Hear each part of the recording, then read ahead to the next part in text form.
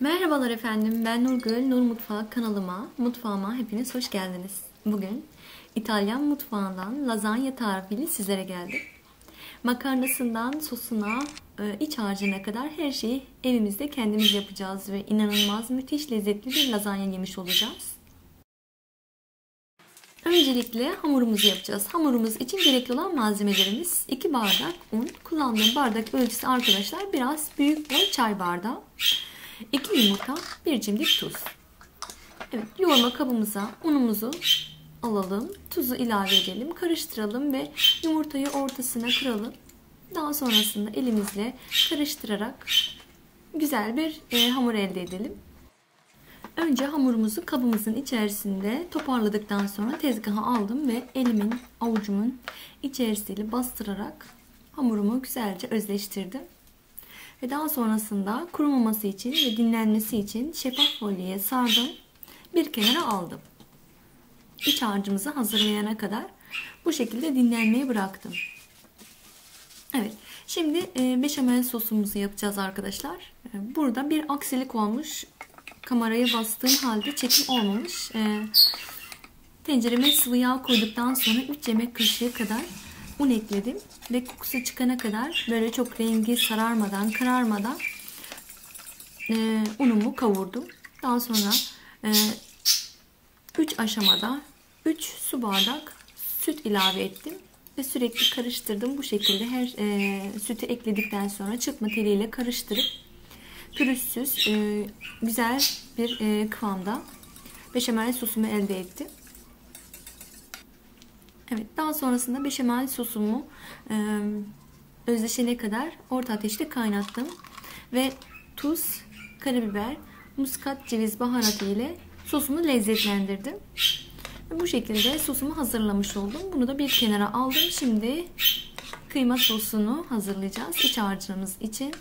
Kıyma sosumuz için gerekli olan malzemelerimiz 500 gram kıyma, bir tane büyük boy soğan, ee, yaklaşık bir kutu domates püresi. Ben e, kutuların içerisinde olan hazır e, domates püresini kullandım arkadaşlar. Ve e, tuz, karabiber, kırmızı toz biber ile lezzetlendirdim. Biraz da zeytinyağı. Yaklaşık yarım yemek kaşığı domates salçası, bir e, tatlı kaşığı kadar da biber salçası. Evet. E, yapılışı tavamıza kıymamızı aldıktan sonra suyunu çekene kadar pişiriyoruz. Daha sonra biraz e, zeytinyağı ilave ettim. Soğanları ekledikten sonra kavurmaya devam ettim. Salçasını ilave ettim. Gördüğünüz gibi bu şekilde kavurmaya devam ettim arkadaşlar. Daha sonra bir kutu domates püremi de ilave ettikten sonra özleşene kadar orta ateşte pişirmeye bıraktım. Baharatlar ile lezzetlendirdim. Ve bu şekilde de kıyma harcımı hazırlamış oldum.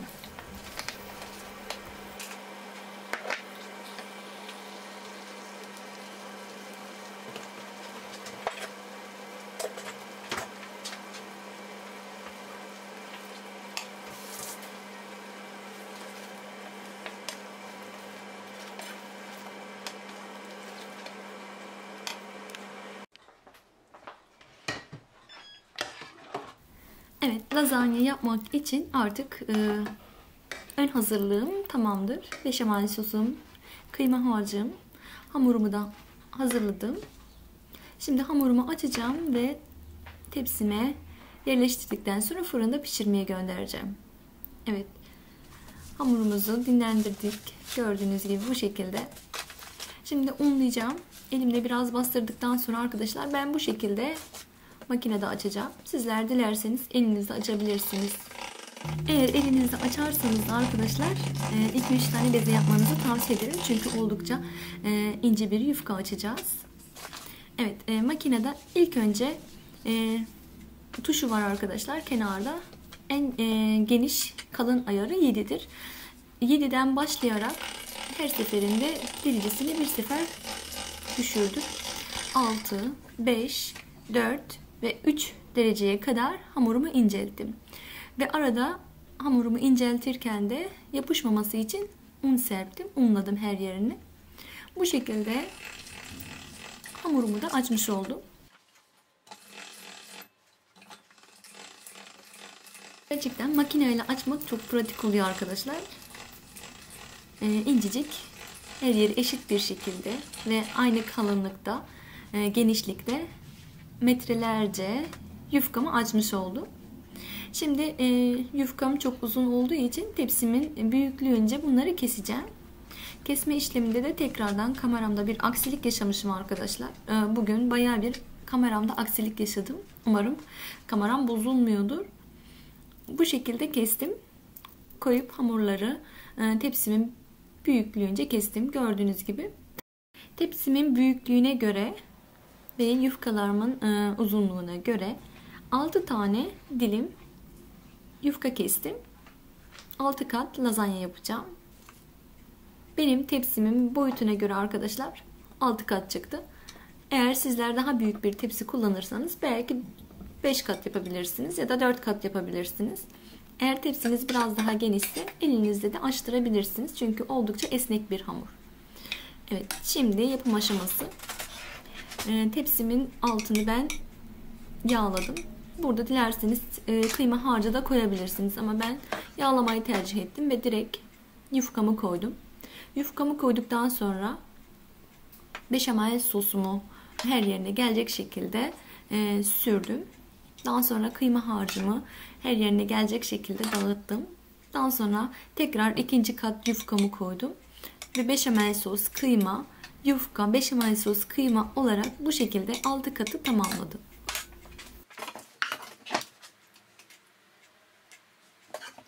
Dilerseniz kıyma harcını koyduktan sonra kaşar peynir rendesi de her kata serpebilirsiniz arkadaşlar. Bu tercih tamamıyla size kalmıştır. Ben kullanmamayı tercih ettim. En son üzerinde bolca kaşar peynir rendesi ve mozzarella kullandım. Tabi sizler içerisine de kullanabilirsiniz. Bu detayı da sizlere vermek istedim.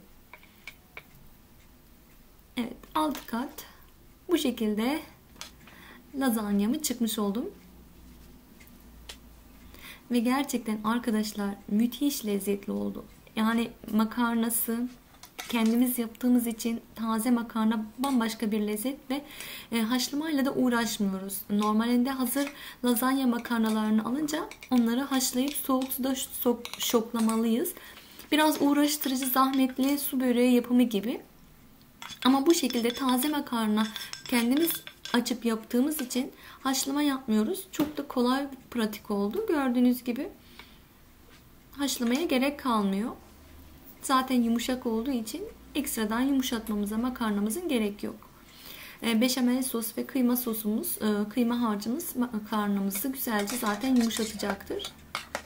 Yani oldukça güzel pişecektir. Evet. Altı kat bu şekilde çıktıktan sonra en sonunda üzerine beşamel sos Dilerseniz parmesan peyniri de ekleyebilirsiniz arkadaşlar. Lezzetini lezzet katmak için. Ya da eskitilmiş peynir. Bolca kaşar peyniri ve mozzarella peyniri serptim, yerleştirdim ve önceden ısınmış fırında pişirdim. Evet gördüğünüz gibi bu şekilde ben lazanyamı hazırlamış oldum.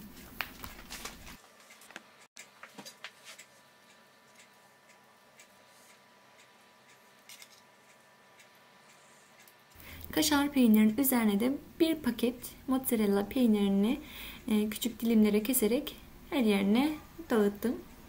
Bu esnada parmesan peynirini serpmeyi ben unuttum arkadaşlar. Eğer sizlerde varsa mutlaka parmesan peyniri de serpin. Çok daha bir lezzet katacaktır parmesan peyniri.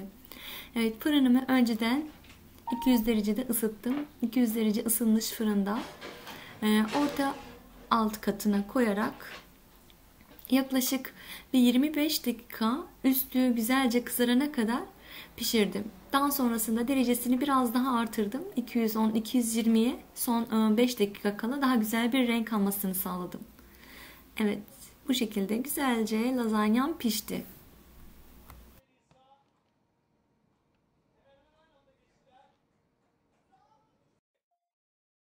Evi inanılmaz derecede müthiş bir koku sardı. Ev halkı sabırsızlıkla e, beklemekte.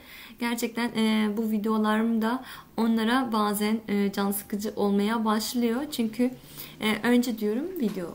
Daha sonrasında yiyebilirsiniz. E, fakat burada tekrardan kameramın azizliğine uğramışım. Ben farkında değilim arkadaşlar. Dilimlerken e, son halini sizlere çekemedim. Bunun için inşallah bir dahaki sefer yaptığımda bunu e, resim olarak ya da tekrardan video olarak sizlere e, paylaşırım. Evet bugünlük bu kadardı. İzlediğiniz için teşekkür ediyorum.